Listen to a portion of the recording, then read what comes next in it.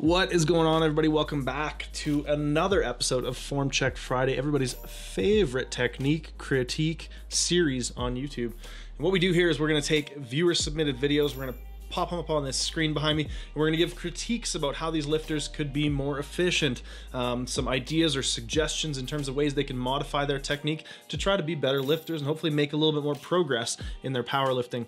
Now, if you're interested in submitting to be featured on Form Check Friday, go ahead and send an email to formcheckfriday at gmail.com. We still do get a lot of emails to other associated email addresses, and those emails just get deleted. Like we don't we don't draw from those pools at all. So if you don't submit to formcheckfriday at gmail.com, we will not get your email. So please, if you want to be featured, send your emails there.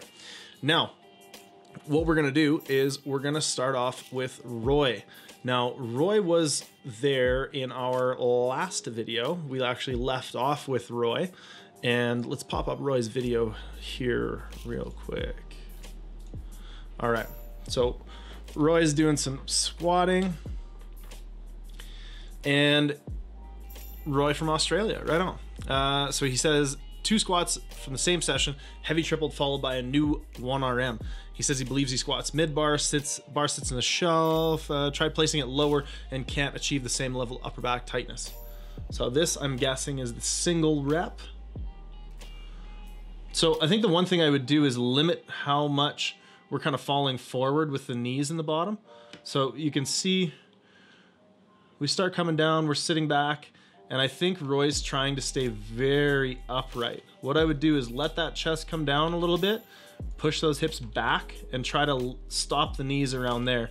Instead, what's happening is we can see those knees pop much further forward, and then as we come back up, the knees have this sort of forwards, then backwards movement, and the hips come up behind him. That puts him in a little bit of what we call a squat morning position. Now let's take a look at the other video that Roy sent in here and see if he's got the same thing going on. So again, we're starting to push back, but we're also staying just super, super upright. So try to let that chest down a little bit, let yourself tilt into the bottom, and uh, I think we'll minimize that popping forward and then that hip shooting up in the bottom. The shelf looks pretty good, upper back tightness is good, but you're almost like trying to stay behind the bar. Like you're, you're just focusing on staying too upright. Let yourself tilt a little bit more. Report doesn't look that bad, but you can really see it come out on that new 1RM. So that would be the biggest thing that I would work on for you. Um, next up, we have Saj Sajan. Sajan. I'm terrible with pronunciation sometimes, I apologize. Um, now he was wondering if we could check his bench press form. Last video is 5x5 at 225. Current max is 295 and just wondering if he had any tips to help him break 315. Mostly trains touch and go as I don't compete and don't really have plans to in the future. Really appreciate the help. Looking forward to hear hearing back from you. So despite whether you're touch and go or whether you're pausing, I would like to see more control on the chest. Okay, and also some semblance of a setup. Right here when you go to unrack, those shoulders are coming right out of position. Like we're very protracted in the shoulder. And what I mean by that, we'll see if you can see this on the camera, but protracted means the shoulder blade is moving forward like this, retracted is back this way. What we wanna see on the bench is we wanna see retraction and depression. So we're pulling the shoulder blade back and then moving it down the back. And you can see here, as you unrack the bar and go to press, the shoulders are about as far forward as they can go. So we need to create way more tightness in the upper back here. The next thing we wanna do is control that bar on the chest so we have consistency in the reps. We've got some reps coming straight up, some reps going back through a decent bar path, but not a lot of consistency because we're just hitting the chest. There's like a bouncing going on there. So what I would try to do is control that touch. So there's a lot more tightness where that bar contacts your, your chest. All right. Next up is Daniel or Dragon Woo. Daniel's email came from Dragon Woo and Dillon. Oh, he changed the file name. It was Dragon Woo. Anyways, um, Daniel's from Taiwan. He's always been a big fan of the channel. He says he powerlifts as a hobby and wants to bring his strength to the next level. Deadlift has always been his concern. Whenever he watches his video, he feels that his low back positioning is wrong. He found he was strong at this position, but still feels my low back firing a lot on the last few reps. Can you help me point out if there's any flaws or any drills or things that he can improve? All right, so let's start this video over.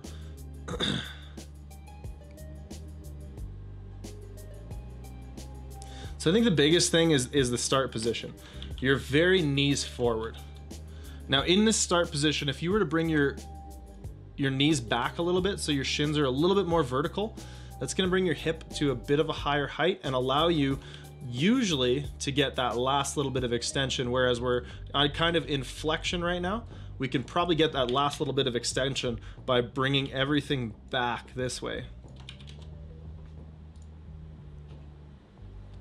The other thing I would say is maybe try sumo deadlifting. You might find that you're just kind of a bit more of a natural with sumo deadlifting.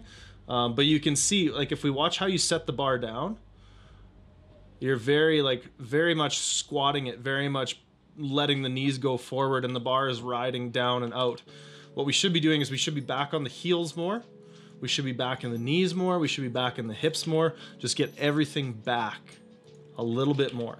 Doesn't have to be super drastic but just get everything back a little bit more. And I think you'll be able to find a much better position and uh, potentially be a lot stronger there. All right.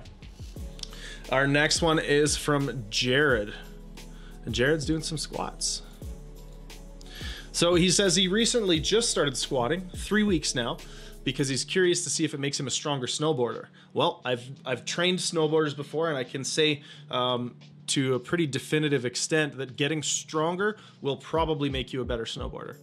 Um, he said it feels like he has he has to keep his torso leaning forward and elbows pretty high behind him to avoid the feeling of the bar sliding down his back. He's curious to hear our thoughts on form since he's self-taught by watching YouTube videos. All right, um, cool.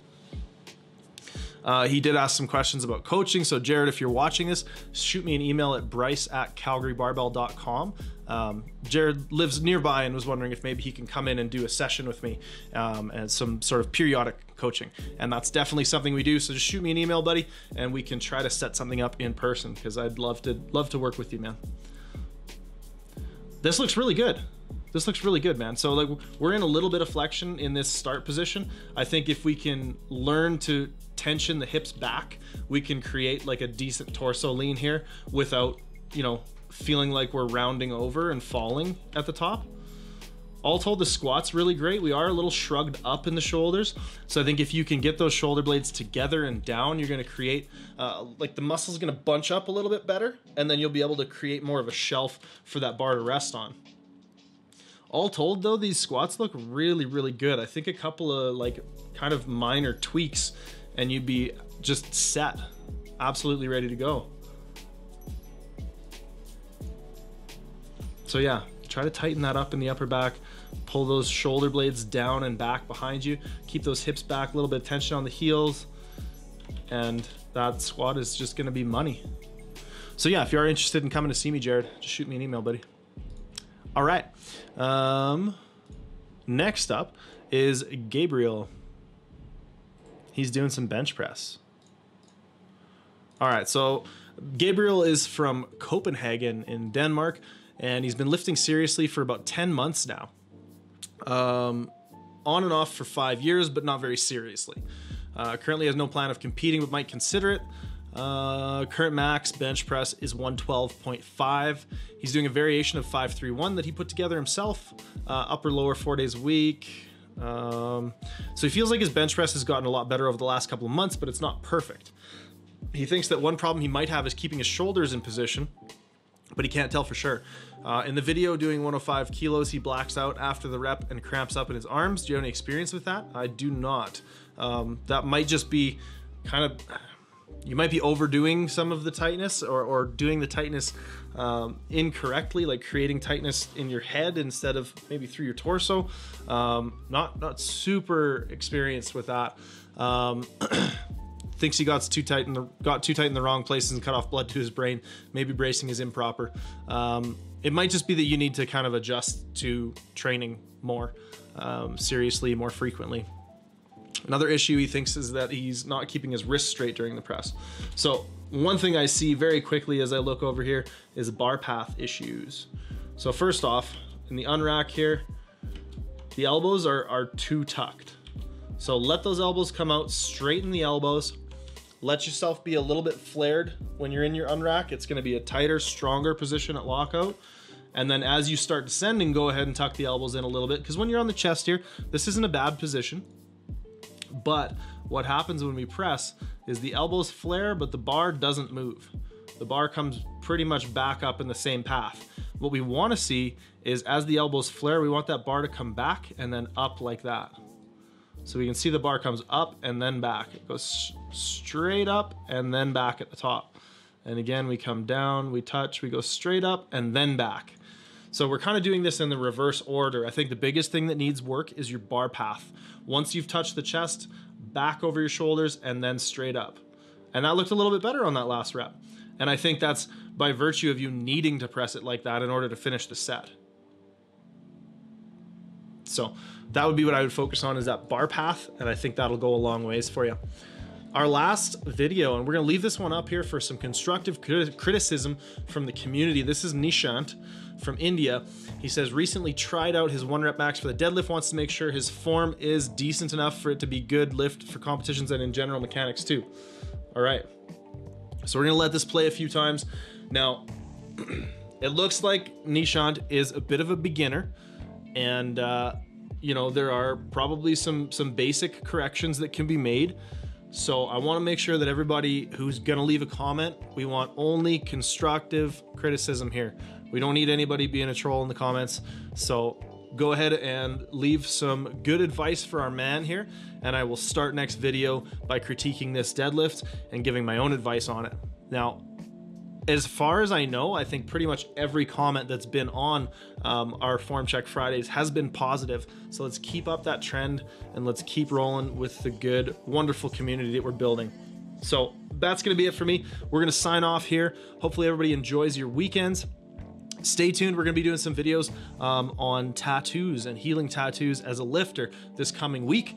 So we're really excited for those. And uh, make sure to hit that subscribe button if you haven't already. Leave a like if you like it. And if you like this style of content, make sure to tune in every Friday for our live Twitch stream. You can head over to twitch.tv slash Calgary Barbell. We do live form checks every week. So make sure to tune in for that. All right. Take care. Have a good weekend. Bye, everybody.